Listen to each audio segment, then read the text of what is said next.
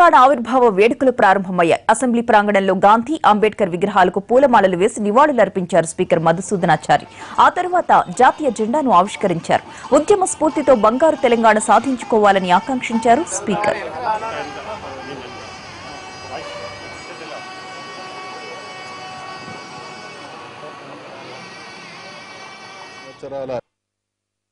తెలంగాణ రాష్ట్రం సాధించుకున్న తర్వాత నాలుగు సంవత్సరాల ఈ చిరు ప్రస్థానంలో తెలంగాణ రాష్ట్రం సాధించినటువంటి అభివృద్ధిని చూసి ఆశ్చర్యపోతున్నటువంటి సందర్భంగా నాలుగవ రాష్ట్ర అవతరణ దినోత్సవం మనం ఈరోజు జరుపుకుంటున్నాం. ఐదవ రాష్ట్ర అవతరణ దినోత్సవం జరుపుకుంటున్నాం.